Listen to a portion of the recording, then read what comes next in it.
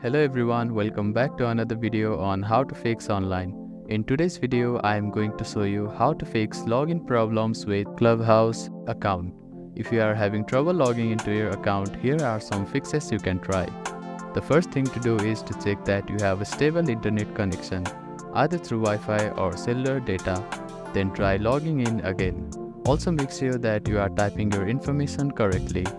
The second step is to clear your browser cache and cookies. Sometimes stored data in your browser can cause login issues. To do this, open your browser and click on the three dots at the bottom right corner.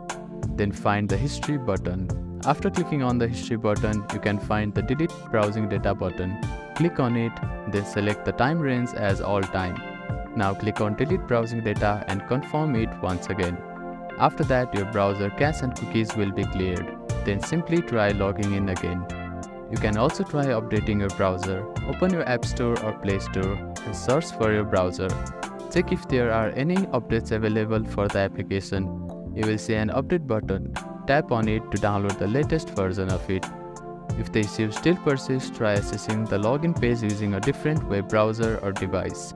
I hope these fixes helped you to get logged into your account. If none of the above steps resolve the issue, reach out to the Clubhouse customer support for assistance. They may be able to provide further troubleshooting steps and help you solve your problem.